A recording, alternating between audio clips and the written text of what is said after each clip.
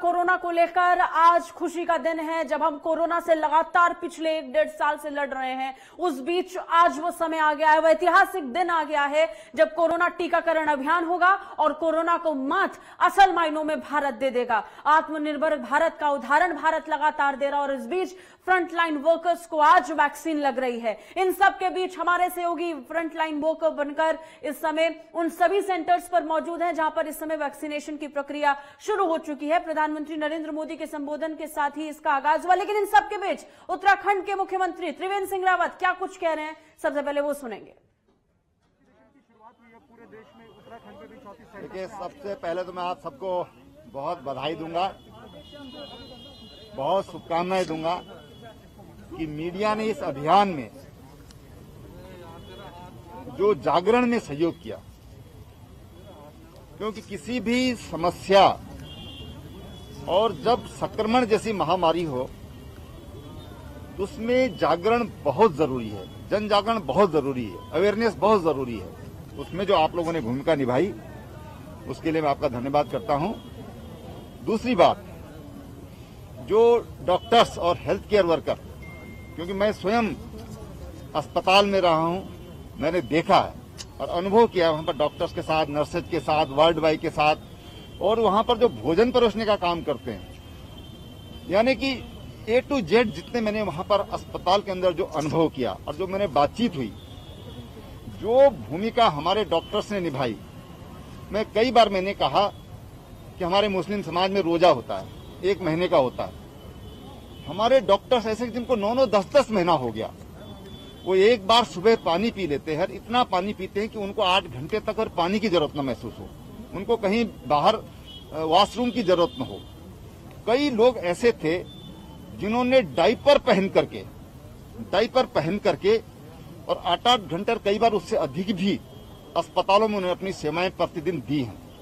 तो उनके प्रति सबसे पहले मैं नमन करना चाहूँगा और इस महामारी में आज देश बचा है तो उन वॉरियर्स की वजह से बचा है, जिन्होंने अपनी जान जोखिम में डाल करके रिस्क लेकर के और ये सारी संक्रमण के कालखंड को और अभी आगे भी चलने वाला है अभी एकदम से सब कुछ होने वाला नहीं है लेकिन जो इसका दायित्व तो जिन्होंने अपने प्राणों पर खेल करके किया निश्चित रूप से उनका हम आ, बिल्कुल उनके आ, उनको जितना आदर दे सके जितना सम्मान दे सके।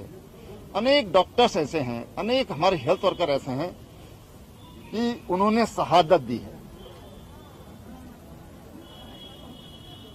उनके भी प्रति हमारी भी श्रद्धांजलि है, उनको आदरांजलि है। दूसरी बात मैं आप उत्तराखंड के विषय में कहना चाहूँगा कि राज्य में कुल तैतीस सेशन इसके स्टार्ट हुए हैं। पचास हज़ार हमारे हेल्थ वर्कर हैं। पहले फ़ेज़ में जो हमको एक लाख तेरह हज़ार वैक्सीन मिली है, हम उन पचास हज़ार लोगों का टीकाकरण करेंगे।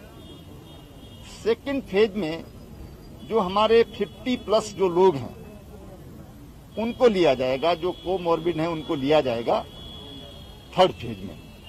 इस तरीके से, इसका चरणबद्ध तरीके से इस प्रक्रिया को आगे बढ़ाया जाएगा। मैं प्रदेशवासियों से कहना चाहता हूँ कि हम जो कोविड के लिए जो बिहेवियर चाहिए, कोविड अप्रोप्रिएट जो बिहेवियर चाहिए उसका अभी हमको पालन करते रहना है। उसका अभी हमको पालन करते रहना है, चाहे मास्क हो, चाहे हाथ बार बार हाथ धोने का हो डिस्टेंसिंग का हो जिसको हमको अभी पूरी तरह पालन करना है। जिनका टीकाकरण हो रहा है, क्योंकि जो एंटीबॉडीज जो डेवलप होंगी, जो रोग प्रतिरोधक जो क्षमता हमारे अंदर आएगी वो टीका लगाने के तुरंत बाद नहीं आएगी। इसमें हमको बयालीस दिन तक और हमको इंतजारी करनी है। बयालीस दिन फोर्टी टू डेज़ अट्ठाईसवें दिन में सेकेंड टीका लगेगा। उसके बाद चौदह दिन बाद, दो सप्ताह के बाद एंटीबॉडी डेवलप होंगी, ऐसे हमारे वैज्ञानिकों ने तमाम परीक्षणों के उपरांत ये उन्होंने हमको बताया है। और इसलिए टीकाकरण के बाद भी डेढ़ महीना हमको तमाम तरह की जो कोविड के अनुसार जो हमारा व्यवहार चाहिए वो हमको करते रहना है। मैं अंत में सबके मंगल की कामना करता हूँ सबके सुख की कामना करता हूँ सबके सुख के सुख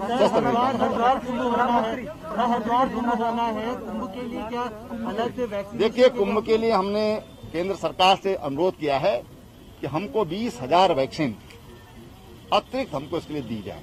ये हमने भारत सरकार से अपनी डिमांड भेजी है कुंभ की ओवरऑल तैयारी को लेकर शुरू हो गया है लेकिन अब भी कई लोगों में भ्रम की स्थिति है।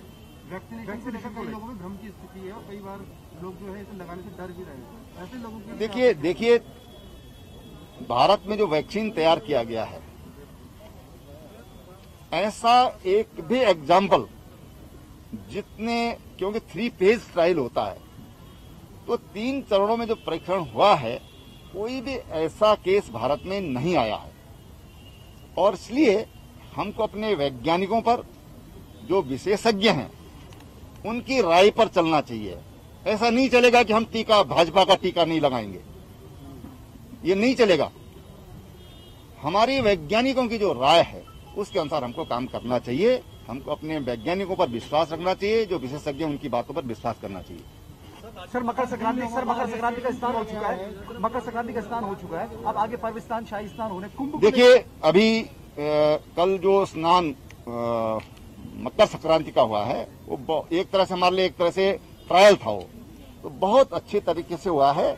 तमाम मैं चैनल्स के माध्यम से और जो हमारे मीडिया के माध्यम से देख रहा था कि जो लोग वहाँ पर यात्री आए वो व्यवस्थाओं से कल की व्यवस्थाओं से खुश हैं। कुंभ की व्यवस्थाएँ भी बेहतरीन होंगी। कुंभ 2021 ये बहुत बेहतरीन तरीके से होगा तमाम विपरीत परिस्थितियाँ। काम करने के लिए कम अवसर और डायनामिक होने के कारण इस संक्रमण की जो कोरोना वायरस है, उसके बावजूद जो तैयारियाँ हम लोग कर रहे हैं कुंभ बहुत बेहतरीन तरीके से हम संपन्न करेंगे ये मैं विश्वास दिलाता हूँ। दो हज़ार बाईस को लेकर कांग्रेस में घमासान मचा हुआ चेहरा घोषित करने को लेकर किस तरीके से देखते हैं